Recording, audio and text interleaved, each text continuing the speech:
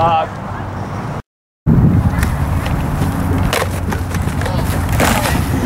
Next two, let's go.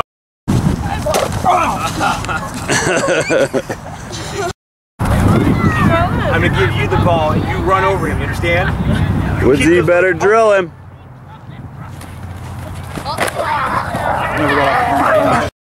Run through him.